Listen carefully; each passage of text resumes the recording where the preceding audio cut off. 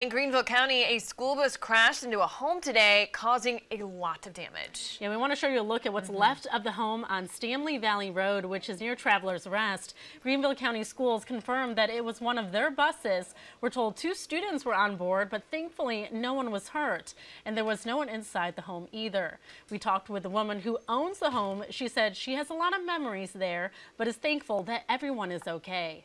I would go down there and just relax, just to get away and just relax. I wanted just relax and get away from it all because I'm a caregiver at my home.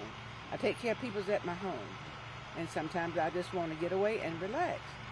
But um, the memories are gone now, but I'm just thankful to God that no one got killed or got hurt. Troopers said the bus driver is being charged with driving too fast for the conditions. At this time, officials are not releasing the driver's name.